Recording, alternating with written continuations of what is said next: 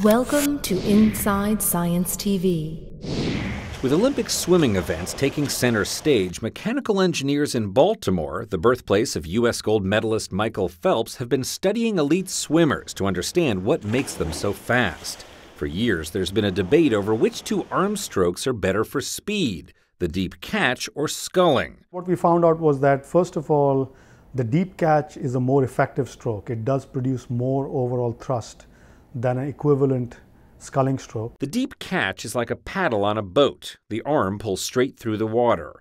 In sculling, the arm is bent at the elbow and moves in an S shaped curve through the water. The engineers used images and underwater video to compare both styles. We were interested in understanding um, the the underlying flow physics behind these two strokes. The researchers learned that the sculling motion reduces both the lift and drag forces that contribute to thrusting the swimmer forward through the water.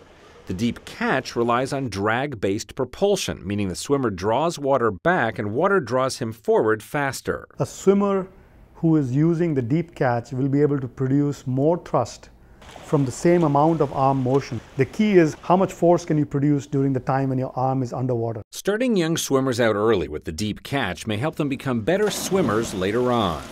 And what does Michael Phelps do?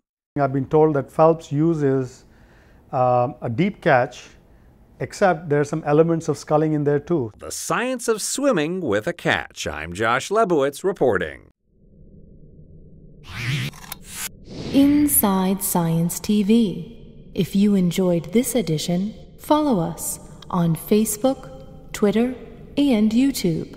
Powered by the American Institute of Physics and a coalition of underwriters.